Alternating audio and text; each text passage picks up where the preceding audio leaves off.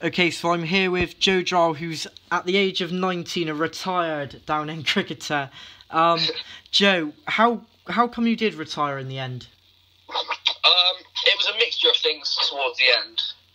Um, I sort of I stopped when I was about 17, so I sort of cut, um, started to compare myself to players my age.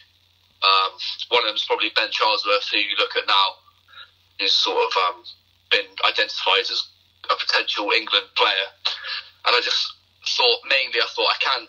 I'm not sure if I can see myself doing that. So I thought, in terms of um, stopping playing for Glos, I just thought that was probably the best time. I got um, fast tracked in quite early when I was about 14, and I, I didn't really have any idea what it was about.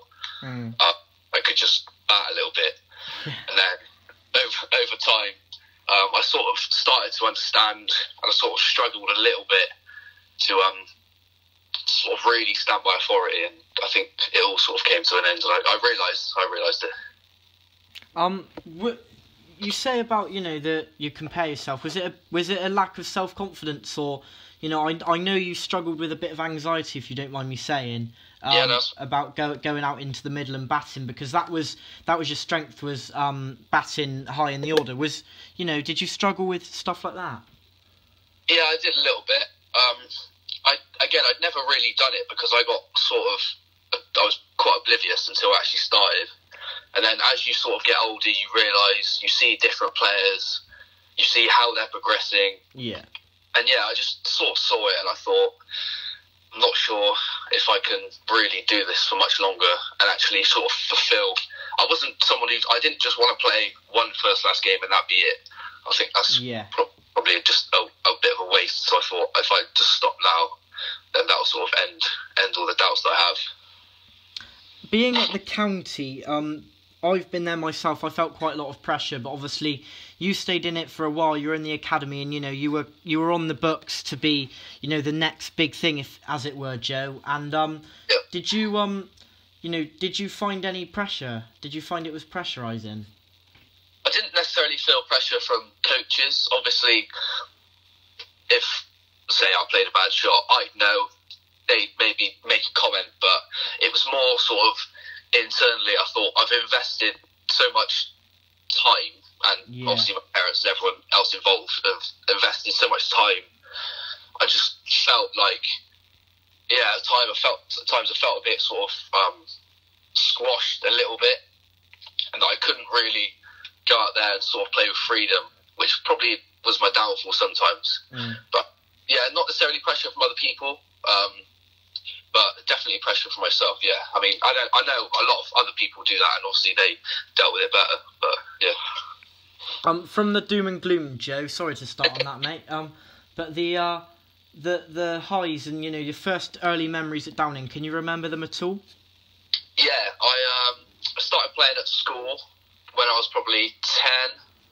Um, and then one of my friends at school played for Downend, and um, went along to the first winter nets I think I might turn up in white. and, um, yes, you, you, were probably there. You were probably there. It was when we used to have it at Colston's, and it was the yellow, the yellow lighting, and I couldn't bat, I couldn't bowl. I was rubbish. That's probably the first memory I have. So yeah. Um, from that first memory, can you remember, you know, a personal personal highlight at the club, uh, or a few? Yeah. Um, the what was it under fifteen final where I got hundred and four wickets. I think personal from a personal point of view, um, probably one that stands out. There's a couple that stand out sort of more recently. Um, winning at Bath away, I think was just a good sort of team achievement. Obviously, it's a hard place to go and play. Um, another one was a game against Bridgwater, where again I didn't get I didn't get many runs, but I was not out it was quite satisfying. Um, sort of in the middle of the season, it was a bit up in the air. Um, mm. and one of the county coaches was there as well, so that's probably one of the more satisfying things that I've done at Downend. A bit different to Bridgwater away last year. Oh, don't talk about it. um, Joe, you've played junior level, you've captained at junior level, and a question that I told you that I was going to ask you was, you know, pick out three players that um, have caught your eye or you, you enjoyed playing with at, at that level and standard? Uh, that I enjoyed playing with, um, for for maybe not the right reasons. um, probably Sam Manning.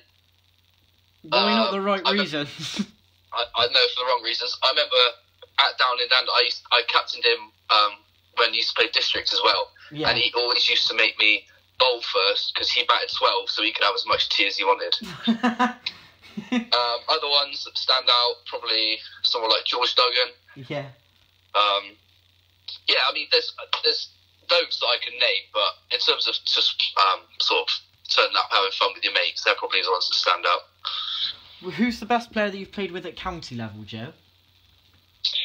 Uh, probably Ben Ben Charlesworth. I mean, I, yeah, I don't really need to explain that, but you you could just sort of tell from even when we started, when we were sort of fourteen, and then he got up to seventeens, and he was sort of getting second team hundreds, and it, yeah, he's he's good.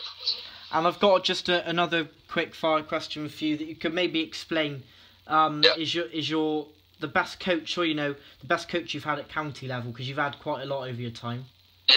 Um, again, I've had quite quite a few different um, quite a few different coaches go about things different ways. But Yeah. well, one that probably stands out is Dorks, um, Owen Dawkins, and Kashi. I think from an early, well, when I first sort of started in the academy, those were the two that I probably worked with the most and saw the most, and it was quite sort of eye opening um, talking to them, and they always sort of um, sort of pushed me, but um, like sort of had my back in a way. Um, so that was quite. Um, again, it was good. It was good to experience. Um, but yeah, ev- even I think they were good, and Muchie as well was good. And Paul Muchell, because if you if you were messing about, they they tell you. Um, but again, they were just really supportive, um, and obviously highly skilled at what they do. So yeah, they're probably the ones that stand out.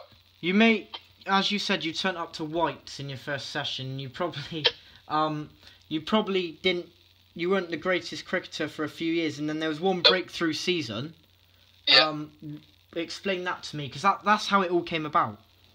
Yeah, there was there was it sort of it came in stages. So I went for a trial, a district trial at under 12s, and again I I, I don't really know why because I couldn't really battle bowl. um, and then I got through, and then I sort of played that season again. Didn't really do anything, and then the I think the like the end of the summer that year, and then the winter, that was when um, I sort of started to improve, and then I was captain district next year, and then I did all right Um, yeah.